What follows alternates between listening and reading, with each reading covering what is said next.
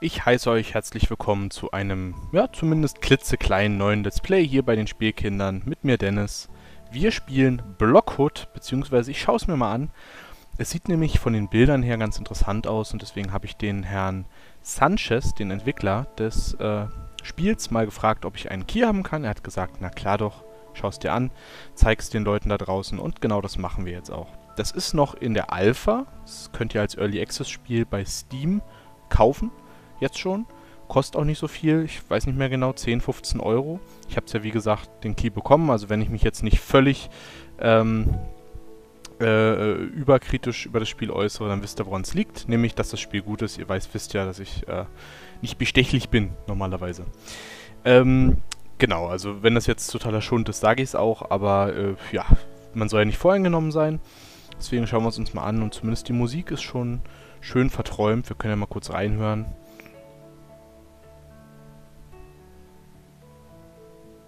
Hat was, finde ich. Ähm, ist nett, aber darum soll es hier nicht gehen, sondern um äh, das Aufbauen einer gestapelten Blockstadt. Ich finde, das klingt auf jeden Fall erstmal interessant, aber da ich nicht weiß, was das hier überhaupt soll und was es ist, gehen wir mal aufs Tutorial, bevor ich mich hier mit Sandbox und also Endlosspiel und so weiter äh, beschäftige. Gucken wir erstmal, wie das funktioniert. Genau, machen wir mal gucken wir erstmal rein, ne? Also jetzt so die erste Folge auf jeden Fall mal, vielleicht noch die zweite. Äh, je nachdem, ob es was taugt. Gucken wir mal. Äh, Tutorial 1, also ist alles auf Englisch. Ich glaub, weiß nicht, ob man es in anderen Sprachen schon spielen kann, aber da das noch Early Access ist und glaube ich ein, eine Person allein das entwickelt, nämlich dieser ähm, José Sanchez, äh, der Entwickler, weiß ich nicht so genau, ob man da noch Deutsch erwarten kann. Äh, wir sollen erstmal einen, einen äh, Block ähm, machen. Hier, Create. Ja, ein Elevator. Okay, also wir brauchen zuerst mal einen Fahrstuhl. Kann ich zoomen? Ja. Ich kann zoomen und scrollen mit den äh, üblichen Tasten, so WASD oder Pfeiltasten. Pfeiltasten geht sogar nicht mal. WASD ist drehen und hoch runter und ja, okay. Bauen wir erstmal einen Fahrstuhl. Gedrückt halten, Fahrstuhl gebaut. Ja, also mit dem Mausrad kann ich auch näher ran. Okay, Delete. Oh, und alles geschafft. Äh, well done! Es war ein komplexes Tutorial. Block gebaut und wieder abgerissen. Ähm, Mouse Wheel, awesome. Now click on the rotate icon. Zack. Das kann man aber auch mit W und äh, und S machen. Äh, W und A machen. W the keyboard. Ja, und zurück und ja, okay. Guck mal, wie schön schnell das hier geht. Das ist ja alles keine Aufgabe. Mm, Ressourcenproduktion. Äh, blablabla. Select the solar panel created on the terrain. Okay. Solar panel. This is a solar panel. This panel doesn't need access to produce resources. Okay, also das kann man irgendwo hinsetzen, zum Beispiel wahrscheinlich auf dem Dach oder so. Wie sich das für äh, Solarzellen gehört. Nice. Open the resources panel. Here we see available resources. Wo ist es denn? Hier unten links. Ist eigentlich ganz gut gemacht, das Tutorial bisher. Äh, wir haben Elektrizität, ähm, hier so eine kleine Produktion und wir haben äh, Geld. Gut, sowas gibt's also. Und ein Achievement, ein Ingame-Achievement bekommen. Ja. Nächstes Tutorial. Ah, ich bin richtig gut in dem Spiel. Ich glaube, ich werde das äh, rulen. Ich werde da der, der Beste in diesem Spiel. Gut, äh, was haben wir hier? Verfall heißt das, Decay, wer es nicht kennt. Drei, äh, drei Bäume und dann schauen wir mal, was passiert. Die sehen ja hübsch aus. Ein Baum. Zwei Baum. Drei Baum. Das ist übrigens der Plural von Baum. Ist Baum. Das wissen viele gar nicht. Oh, ich kann die Bäume auch drehen übrigens mit, äh, mit E geht das. Uh, let's go into Inspection Mode. Das ist das hier. Great, if you hover uh, over the block, you will see inputs and outputs. Our trees don't have any water. A block only produces outputs if it has inputs, otherwise it decays. Also Sachen verfallen, wenn sie nicht die richtigen äh, Input bekommen, also wenn nichts geliefert wird an Ressourcen sozusagen. Ähm, so. Ja, den Bäumen geht es eher so mittel. Die haben äh, Green producing resources, Red not producing resources. Okay, also pro produziert nicht so viel. Needs access. The resource of this block change based on the seasons. Ja klar, ist ja auch ein äh, Baum. So, was soll ich jetzt machen? Data Visualization. Was ist das? Decay Rate. Okay, guck mal, also die beiden äh, verfallen schneller als der da hinten. Ne, jetzt nicht mehr. Jetzt sind sie alle drei gleich scheiße. Be, careful, be careful. Okay. Äh, well done. Ja, jetzt weiß ich aber immer noch nicht, was ich, wie ich die Bäume dazu bringe, zu überleben. Das ist ja, ist ja schließlich die wichtigere Aufgabe, als zu wissen, wie ich das Menü wieder schließe. Ähm, okay, jetzt muss ich äh, gucken, ob ich einen Block finde, der äh, Wasser produziert. Hm. Warte mal, look into the inventory. Das ist create. Ne, wo ist denn das Inventory? Das sagt er mir jetzt wieder nicht hier, ne?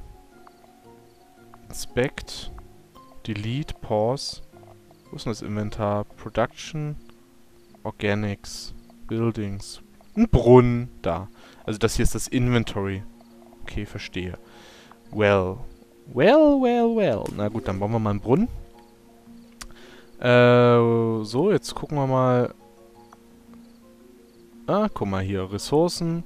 Können ja mal auf den äh, Brunnen inspizieren. Guck mal, da produziert er, da füllt sich jetzt die Leiste. Und immer wenn sie voll ist, kriege ich ein Wasser in mein Inventar. Und links müsste jetzt gleich eine 2 stehen. Ja, funktioniert doch. So, wir sollen warten, bis ich drei Wasser habe. Also dahingehend ist es sowas wie eine normales Wirtschafts-, Wirtschaftssimulation. Zumindest was das angeht. Äh, jetzt können wir Bäume dahinsetzen. Machen wir das doch. So. Zack. Und die müssten jetzt dann an sich Wasser haben. Äh, try to produce fresh air. Fresh air ist also auch eine Sache, die man produziert. Äh, okay. Füllt sich also auf. Ich habe kriegt 1,5 Wasser rein und äh, 2 Fresh Air raus, also frische Luft. Ähm, damit haben wir wieder ein Tutorial geschafft. Ich finde es eigentlich ganz nett so. Es ist ein relativ gut übersichtliches, gut zu überblickendes äh, Wirtschaftsstrategiespiel so ein bisschen bisher.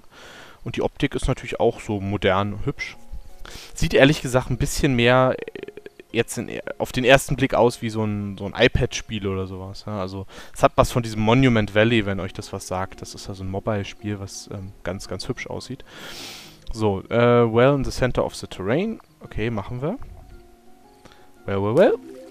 Den, das werde ich immer sagen, wenn ich einen Brunnen baue. Das ist ein alter Geologenwitz. Wir, wir lernen ja in der, im Studium, wie man Brunnen baut. Ich meine, das ist Teil unserer Ausbildung bei uns Geologen. Und da ist immer dieses äh, Well, well, well. Ist irgendwie, keine Ahnung. Naja, ist so ein Running Gag. Great. Now go to Data Modes. I do. Äh, was ist das? Access Data. Notice that the well is pink. This means the well is not accessible. Try creating corridors between the well and the edge. Aha. Also ich muss sozusagen ein, ein, eine Straße bauen. Nur die Frage ist halt, wohin, ne? Also jetzt in diesem Fall zum Rand des, der Karte, aber ist das immer so? Hm.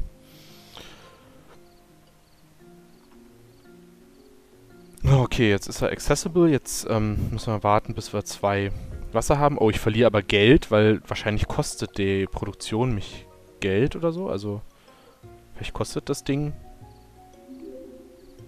äh, in der Produktion was.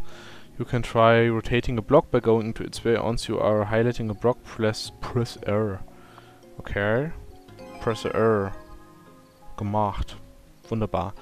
Okay, also das kann man auch machen. Das ist wie bei Factorio, wer das Let's Play gesehen hat. Ähm, das war lief ja bis letzte Woche hier bei uns. Das, da habe ich äh, Factorio gespielt und da konnte man auch mit, ähm, mit R nochmal die Sachen drehen, wenn man sie schon gebaut hatte.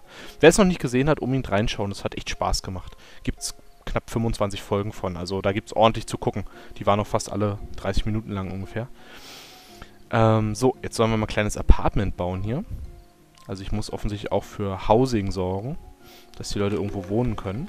Es ist ja wirklich ein sehr kleines Apartment. Also ich weiß nicht, wie groß eure Wohnung ist, aber ich wohne mitten in Berlin, das heißt, die, meine ist auch nicht größer. uh, inspect Mode, uh, great. Hover over the apartment you created and you will see a red arrow.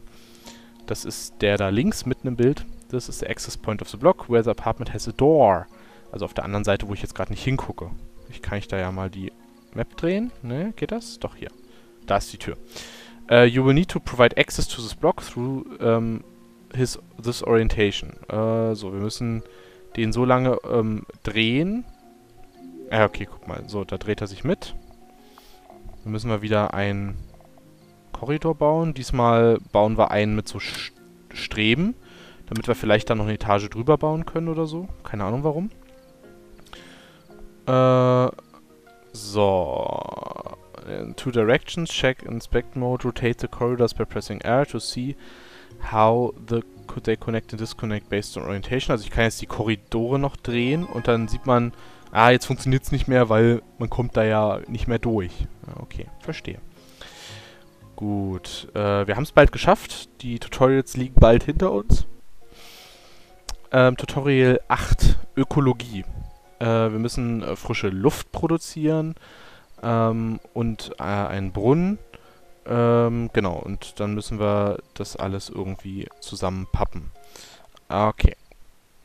Was ist das? Ein Wasserturm, eine Windmühle. This is a water tower. This is a well. Die Erklärung, die da steht, sieht da so. This is a windmill. This mill doesn't need access to produce resources. Na, ist ja schon mal wichtig. So. Bauen wir mal hier einen Brunnen. Dann muss der jetzt erstmal äh, accessible sein. So. Ähm, mal kurz gucken, ob das so passt. Ja, der ist zumindest in die Richtung da accessible. Das heißt, der produziert Wasser. Äh, jetzt frische Luft. Bauen wir mal vielleicht ein paar Bäume. So, machen wir mal zwei. Weil ich nicht weiß, ob ich mehr Bäume brauche. Und müssen die zugänglich sein?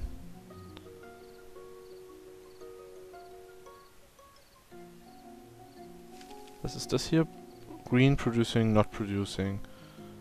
Aber warum, warum nicht? Müssen die auch äh, einen Zugang haben? Das kann ich ja mal hier ausprobieren.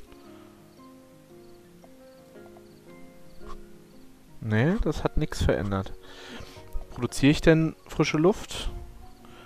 Nicht so richtig, ne? Aber genug Wasser habe ich eigentlich. Ähm. Was ist denn, wenn ich, wenn jetzt der Block hier auch noch accessible ist?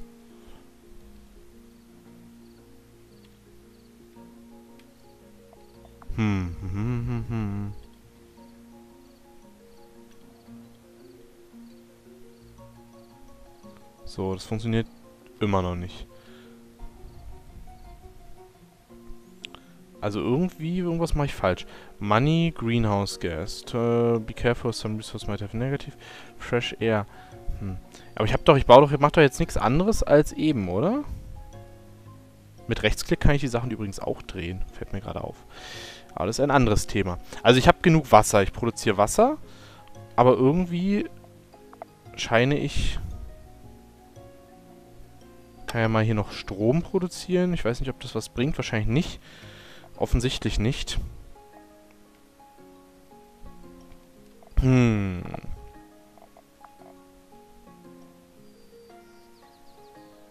Was ist mit dem Baum?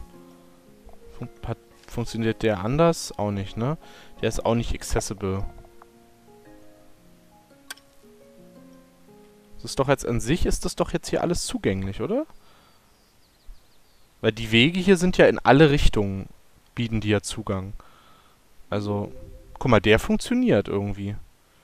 Nur der Baum hier, die Bäume halt hier nicht. Finde ich komisch. So. Na gut, aber dann haben wir ja äh, den, den Baum hier. Dann das Einzige, was jetzt flöten geht, Geld. Wahrscheinlich kann man das erzeugen, indem man äh, Bewohner einziehen lässt. Also Wohnungen baut. Ich kann das ja mal probieren, was hier passiert, wenn ich sowas mache. Kann ja mal hier ein Haus, äh, so ein Zimmer bauen, Apartment. Äh, äh, so. Ist das jetzt zugänglich? Das sollte zugänglich sein, oder? Okay, das produziert nichts, weil... Also ich produziere Arbeitskraft. Keine Ahnung. You have completed tutorial Blockhood is all about ecology and interdependence, also Abhängigkeit. Okay, nächstes Tutorial. Das waren jetzt die Basic-Tutorials, würde ich sagen. Jetzt kommen wir zu den etwas tiefergehenden. Okay, manche Blocks erlauben die, äh, den Bau von Blocks auf ihnen drauf, also übereinander. Äh, ich glaube, darum geht es ja auch so ein bisschen, alles zu stapeln. Ähm, zwei Apartments übereinander. Okay, zwei Apartments übereinander. Äh, ein Apartment, zwei Apartment. War nicht so schwer. Ähm, da, da, da. The upper apartment is not accessible.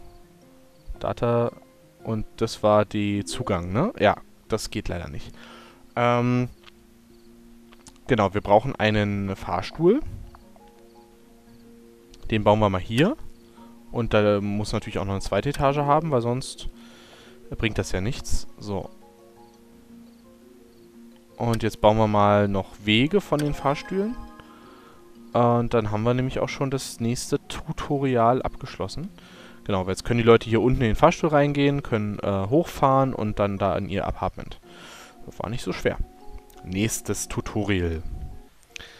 Wir lernen das jetzt hier alles. Kommt, ihr kommt doch mit auf die Reise, oder? Ich meine, man muss doch, man muss da auch mal ein bisschen erstmal was lernen. Man muss erstmal gehen, bevor man rennen kann. Ähm, try creating a corridor that divides the terrain in two. Das ist jetzt wahrscheinlich nicht so schwer. Machen wir das doch. Warum auch immer das notwendig sein sollte. Das Spiel wird es schon wissen. Ähm, kleines Apartment soll ich bauen. Was ist das? Factory. Oh, nice.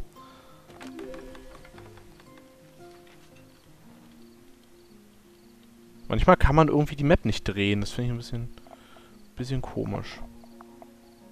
Äh, dense tree adjacent to the small apartment. Vielleicht lag es an der Art des Baums oder was? Hm.